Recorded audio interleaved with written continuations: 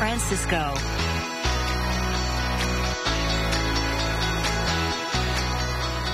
Nostalgia for My Island is a new exhibit at the National Museum of Puerto Rican Arts and Culture. It features work from some of Puerto Rico's most renowned artists. And joining us now with more is CEO Billy Ocasio. Thank you so much for being here. Thank you, Tanya and Amy. It's such an odd time to be talking about this, these beautiful pieces of artwork, yes. which you guys basically saved after the earthquakes in 2020, Correct. and now Correct. they're having to deal with the hurricanes. Uh, it's kind of celebratory and probably a very difficult time. Yeah, I mean, you know, we opened it up to the public yesterday, people's minds were on the hurricane that sure, just hit yeah. Puerto Rico. But people were coming in, they wanted to experience the exhibit, but at the same time, you know, they started making donations, and that's what we're looking for to do at this point is basically to help out Puerto Rico. Yeah, and you said you were able to find an agency that's in Puerto Rico that is going to actually match? Yes, we uh, found a foundation called the Titin Foundation who happened to be here in Chicago okay. and could not get back to the island. And so they are going to match dollar for dollar every donation that we make or that we raise.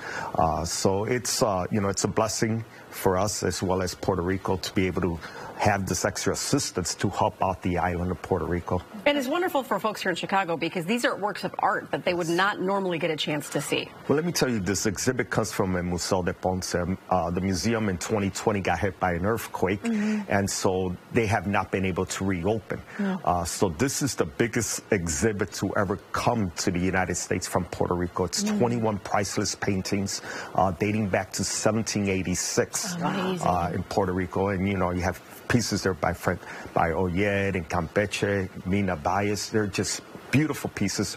They are pieces that as we grew up and in the Puerto Rican community, we all heard about them. Mm. We saw them in books, but we have never seen them wow. face to face. Oh, wow. And so what do they depict? Do they depict the island? Yes. The people, tell us about what these well, photos. the exhibit is broken up, uh, Nostalgia for My Island is broken up into three segments. Uh, it's called My People, My Home, My Island. Mm-hmm. Uh, and it has paintings from various artists there, uh, Miguel Pou. Uh, there's just some wonderful paintings. Uh, it's um, an exhibit that is going to capture the imagination of everyone, uh, whether you're from Puerto Rico or not. Uh, Ponce, the Ponce Museum is the biggest uh, museum in the Caribbean mm. uh, and the first Latino museum to get uh, credited. It's wonderful that Chicago and hopefully other cities have been able to help out Puerto Rico really preserve these pieces of art because I would be worried with the hurricanes and the tornadoes that, you know, uh, some of this yes. might get lost. And that's one of the reasons why Ponce decided to travel this exhibit. Mm. These are pieces that had never been here. Yeah. Uh, but because they were closed down uh, because of the uh, mm -hmm. earthquake, um, they didn't want these pieces to just be in storage. And so they decided to uh, expand and they reached out to us. We were very interested. We have been, you know, the National Museum of Puerto Rican Arts and Culture, we're celebrating our 20th, 20th uh, year.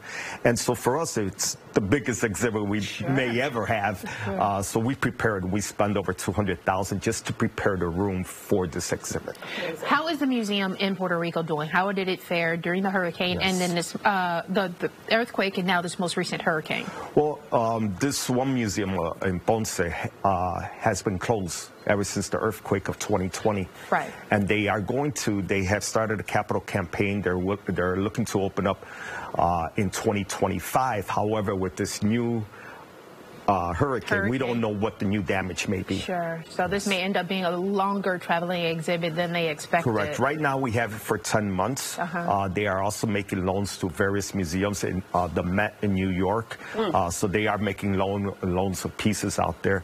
Uh, but for us, you know, our prayers are with the island, with the museum, sure. with all of our people. Again, my people, my home, my island. And, and people need to know to go to support, not only just to see these yes. historic works of art, but Correct. because of the donations that can be going to help the people of Puerto Rico. Correct. We're right in Humboldt Park. It's a beautiful building. It's a, a, a National Historical Landmark built in 1895.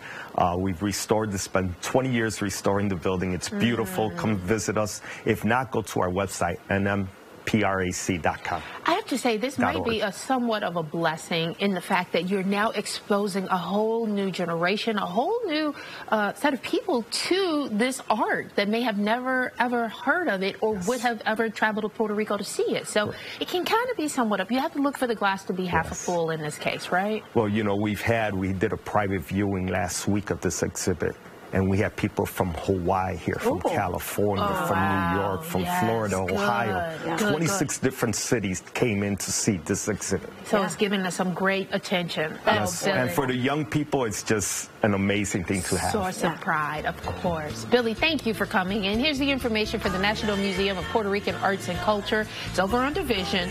Social media handles as well as the website. You have to check this out. It's going to be here for 10 months, but don't wait. Get in to see it as soon as you can and help out with the fundraising efforts as well. Thank you, Tina. Thank you, Amy. Thank you. Thank you. All right, coming up next, we are learning all about a traditional Mexican folk